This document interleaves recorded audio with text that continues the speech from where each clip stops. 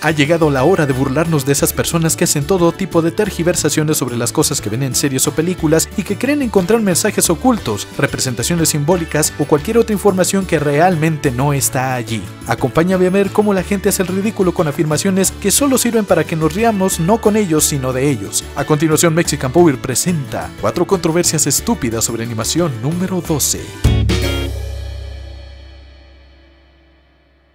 Si alcanzaste un poco de los años 90, seguramente recordarás que esa fue la mejor época de Nickelodeon. Tenían la vida moderna de Rocco, Ren Stimpy, Rugrats, pero mi favorita de todas ellas fue Hey Arnold, donde podíamos ver a un chico que trataba de ser brújula moral de sus compañeros y vecinos. Como crítica social funcionaba perfectamente, mostrando unos problemas que cualquiera podría llegar a tener en casa, desde ser criado por los abuelos, sentir vergüenza por la condición socioeconómica, atravesar adicciones, hasta tener una madre alcohólica. Tenía personajes bien construidos y nos mostraba cómo la gente puede llegar a ser terriblemente cruel solo por diversión, remarcando un mensaje constante de que siempre hay que buscar el diálogo para evitar que las situaciones escalen todavía más. Y no saben cómo desearía decirles que fue por esta fórmula arriesgada que Hey Arnold fue prohibida en un país africano, pero tristemente no fue así. En Kenia prohibieron esta serie por la razón más ridícula que puedas imaginarte. En 2017, la clasificación fílmica de aquel país determinó que Hey Arnold debía ser vetado porque tenía una naturaleza fálica. Esto debido que si se miraba con detenimiento al abuelo de Arnold, podía notarse que su cabeza tenía forma de pene. Parece que se lo sacaron de un meme, ¿no? Además, en varios episodios había algunos chistes de fondo como un letrero que decía, prueba mi salchicha. Sin embargo, lo más ridículo vino después, ya que también dijeron que Hey Arnold estaba poniendo en pantalla personajes LGBT, algo que no les parecía correcto. En serio no puedo creer que un país se tomó en serio memes de internet y que considerara propaganda una sátira de la publicidad americana que constantemente insinuaciones sexuales. Yo recuerdo que en preparatoria tuve un profesor que se dio a la tarea, prácticamente la mitad de un semestre, sobre cómo los comerciales aparecían muchas referencias fálicas, y siempre nos decía, esto mis camaradas son elementos fálicos, aparecen siempre dos elementos abajo y uno más largo en medio. Miren, fíjense, uno, dos y vámonos. A lo mejor los kenianos también tomaron sus clases. Sin embargo, cuando nosotros miramos de nuevo el show, nos damos cuenta de que hay varias cosas que podrían resultar poco menos que polémicas, y es que hay un episodio intitulado De vuelta a la escuela en la cuarta temporada, donde podemos ver que el abuelo de Arnold es incapaz de ayudarle con un problema de matemáticas debido a que tuvo que abandonar la escuela por problemas económicos. Así pues, Phil ingresa a la primaria 118 y entra al cuarto grado. Se esfuerza mucho por obtener buenas notas y su progreso es tan rápido que el señor Seymour solicita que se le promueva al quinto grado. Y lo mismo sucede allí, así que lo avanzan al sexto. Es aquí donde se topa con unas matemáticas que ya no puede comprender y ante tal frustración decide comportarse como un rebelde, vistiendo una chaqueta de cuero, intimidando a otros estudiantes, y llega una parte que cuando yo la vi estaba precisamente en cuarto grado, y veía a los que iban en sexto como los más grandes y maduros, casi casi universitarios, ¿no? Así que entendí el chiste tal cual el equipo que hizo este episodio lo contó. El abuelo, representando la rebeldía adolescente, se comporta como un buscapleitos y sale con dos chicas de sexto para ver una película para audiencia madura. En el doblaje latino dicen que una película para adultos, pero creo que originalmente era una película para mayores de 13, por lo cual la respuesta que le da Arnold es mucho más coherente. Le dice, tienes ochenta y tantos años, puedes ir cuando quieras. Cuando vi ese episodio fue gracioso porque se me hizo un chiste tipo Hugh Hefner, el anciano con actitud que se lea con mujeres menores. Recuerdo que mi mamá sí me comentó que el abuelo de Arnold parecía un viejo rabo verde por salir con las chicas de sexto, pero la verdad yo no le hice mucho caso en aquel entonces. Pero ahora que ya soy adulto y veo este episodio y caigo en cuenta de que las chicas con las que sale, que son Connie y María, no son unas señoritas precisamente como yo creía de niño, sino que son realmente unas pubertas que con suerte tienen 12 años, es cuando uno dice, madres, qué inocente fui. Digo, en ningún momento se representa que Phil busque algo más que pasar el tiempo con ellas, así que no se le puede tildar de ebefílico o abusador de menores en stricto sensu, pero de que es un poquito tétrico, sí que lo es. ¿Qué piensas tú? ¿El abuelo era fan de cuties o era solo un chiste no sexual? Hace tiempo hubo una controversia sobre Recreo, serie creada por Joan Solavier y Paul Germain, debido a que alguien en Twitter aseguró haber descubierto que Ashley Spinelli en realidad era un chico trans porque había visto un fragmento de la serie en donde la pandilla de TJ Dittweiler ya era adulta y podía verse a Spinelli siendo un hombre con barba. Sin embargo, resulta que ese supuesto avance en el tiempo no es tal, sino más bien el recuerdo de un anciano quien resultó ser el creador del superhéroe de cómics favorito de TJ. En ese flashback, él estaba contándole al joven joven Dittweiler cómo fue su experiencia durante la guerra. Solo era una referencia a todos los miembros de la pandilla. De ninguna manera tiene que ver con Spinelli, porque también otros personajes como Gretchen o Finster son parodiados de igual manera. Pero el ridículo del Spinelli trans no terminó allí, sino que varias páginas en internet aseguraban que este era un descubrimiento y comenzaron a tomar elementos fuera de contexto de la serie de recreo, como que Spinelli se enojaba si la llamaba niña, atribuyéndole una disforia al personaje y no sé cuántas cosas más. Pero sucede que en este mismo episodio, Spinelli es obligada a bailar ballet y termina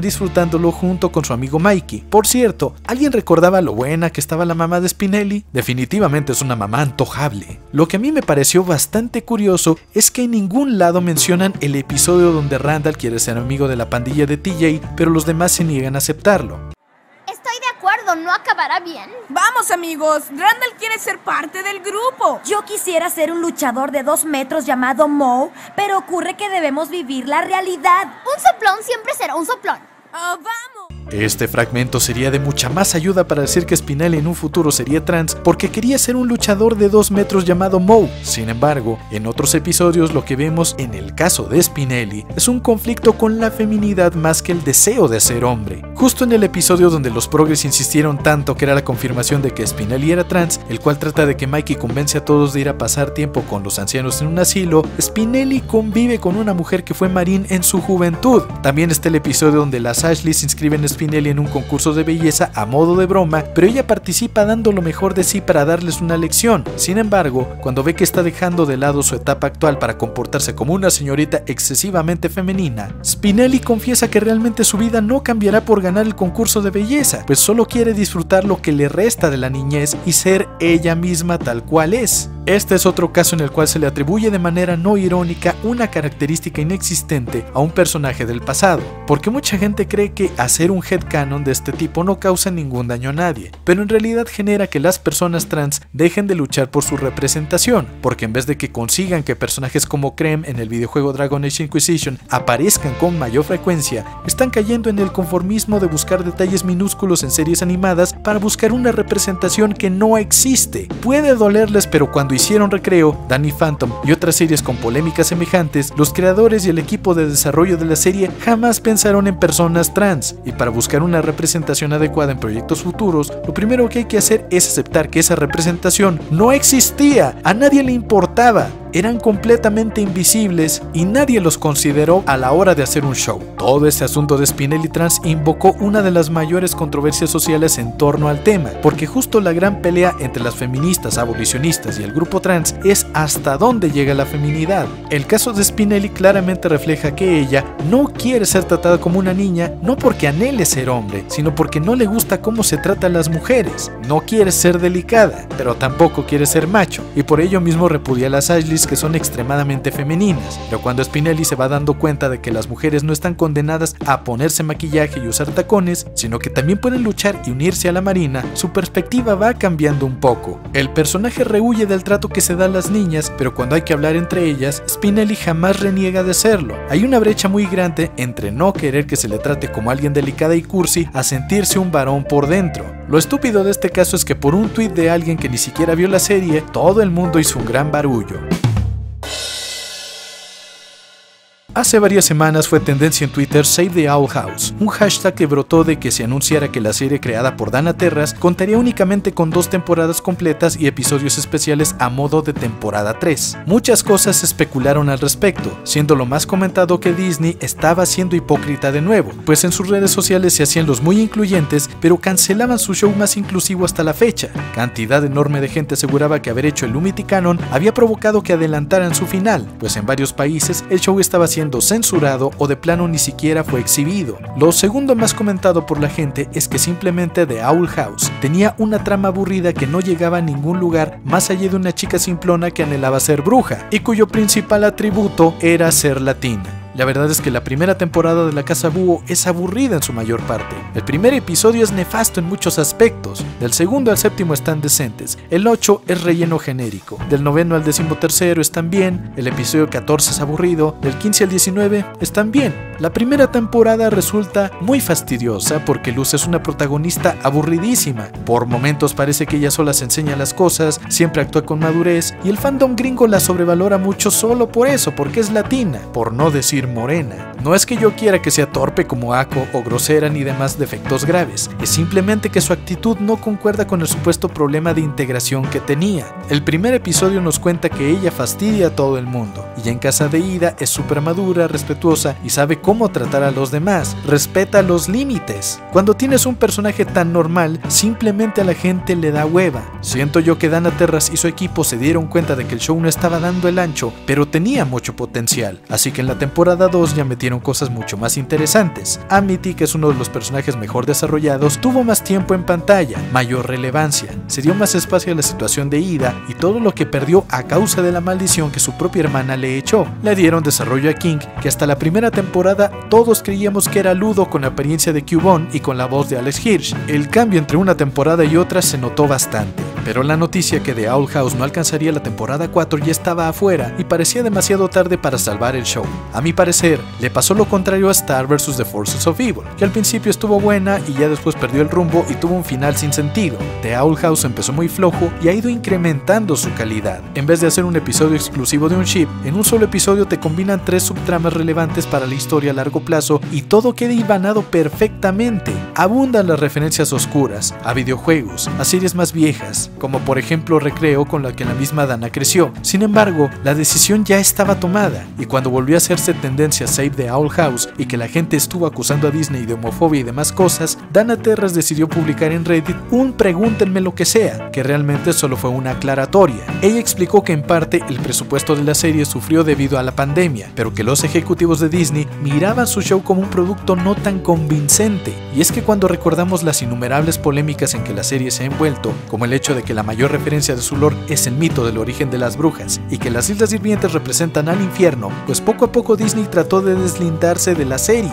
Y así Dana nos lo cuenta. Un ejecutivo le dijo que The Owl House no se ajusta a la marca familiar de Disney y ni siquiera hablaron con ella. La decisión se tomó a puertas cerradas y ella se ajustó al cronograma que le dieron y buscó la manera de cerrar el ciclo. Ahorita, según su post, ya es demasiado tarde para tratar de rescatar la serie porque prácticamente el trabajo está hecho. Es decir, que el proyecto ya está muy avanzado como para poderlo rehacer y que ella espera que en un futuro se pueda hacer algo más con la serie, una vez que dicho ejecutivo ya no esté al mando. Sin embargo, las palabras de Dana no fueron escuchadas por su fandom, que siguió insistiendo en Save the Owl House aún con más fuerza, cuando ella misma ya dijo que es demasiado tarde. Aquí lo que deberíamos pedir no es que Disney mantenga al aire ese show, sino que le devuelva a Dana los derechos de su creación para que tenga la oportunidad de desarrollar la serie en otro lado, como por ejemplo Netflix o yo que sé dónde, alguien que sí le permita plasmar la visión que tiene, porque ella misma lo dice, el problema no fueron los ratings a pesar de todo, en una época donde la gente ve mucha menos televisión que antes, sus ratings estuvieron bien, creo que si tuviera la oportunidad de presentar su proyecto en otro lado, tendría oportunidad de hacer la serie que pensó en un principio, tal vez hasta con los diseños beta y toda la cosa.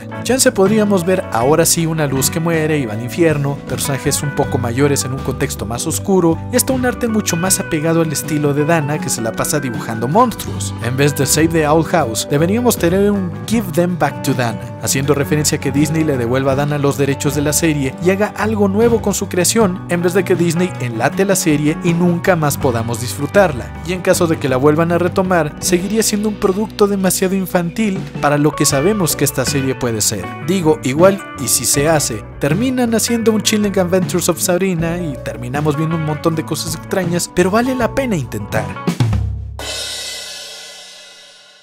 Probablemente muchos de ustedes recuerden la época de oro de los creepypastas, que es de más o menos entre 2008 y 2015, cuando se contaban relatos de horror con el tema de Candyman, Silent Hill 2, el juego del miedo o el tema del pueblo lavanda, y en esa época abundaban las historias de que una serie común y corriente estaba inspirada en un acontecimiento verídico o en una persona real que había descendido en la locura y se había suicidado o algo así, que había episodios perdidos o censurados de aventuras en pañales, Ren y Stimpy y demás. Algunas historias eran ciertas, pero otras solo eran exageraciones de narradores en internet cuyo contenido se dirigía para gente impresionable como niños o pubertos, y que prácticamente todas eran lo mismo. Actualmente ya no es tan frecuente ver gente inventándose ese tipo de historias porque casi todas terminan igual, así que como todas las teorías de caricaturas que siempre acaban diciendo que el protagonista está en coma y todo es una invención de su mente trastornada, pues bueno, la gente ya lo fue dejando atrás. Sin embargo, al respecto de Hey Arnold, otra vez, un sujeto decidió subir en una wikia la reseña de un supuesto episodio perdido de Hey Arnold, en el cual Harold Bergman veía un show de superhéroes sumamente grosero, así que al día siguiente le comentó a Stinky Sid lo que había visto y comenzó a insultar a diestra y siniestra, llegando a insultar fuertemente a Ronda cuando lo increpó. Supuestamente el episodio terminaba con los adultos lavándole a los niños la boca con jabón y hasta se decía que Craig Bartlett había hecho este episodio para la temporada 6 de la serie como forma de protesta por la cancelación de la película de la jungla. Presuntamente el episodio se había estrenado en 2004 pero no pudo volverse a ver hasta que Comedy Central lo subió a su canal de YouTube el 2 de octubre de 2021. Obviamente si tú buscas información adicional no vas a encontrar nada, ni intentes buscar en el canal de YouTube de Comedy Central, como yo bien pendejamente pasé por 10 minutos buscando. Al final de este artículo de la wiki que nadie ha dado de baja, se puede leer Fuente,